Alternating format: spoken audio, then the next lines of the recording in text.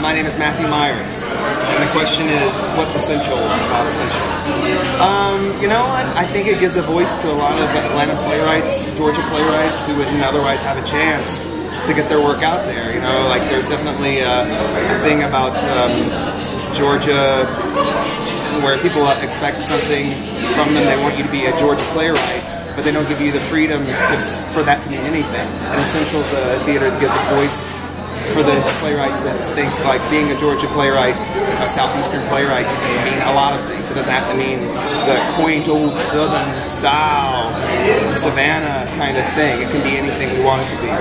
We have a lot of options. So essential is essential because it gives options and variety and it expands on the meaning of a southern playwright.